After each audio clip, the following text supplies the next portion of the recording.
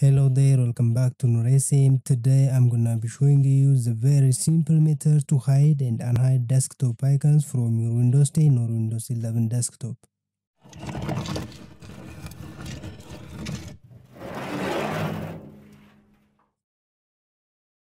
Hiding or unhiding all icons, files and folders from the desktop is very simple. To hide icons from the desktop, simply right click on your desktop, click on view and uncheck the show desktop option.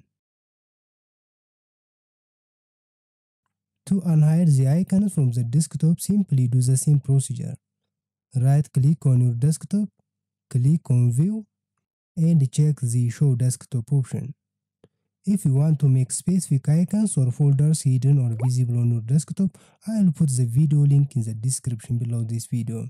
On my channel, I have a lot of Windows tips and tricks lessons that you may watch right now. You can also download free and beautiful wallpapers for your computer and mobile device. I will add the link in the description below this video. Thank you for watching. If this video helps you, please subscribe and hit the bell icon below this video.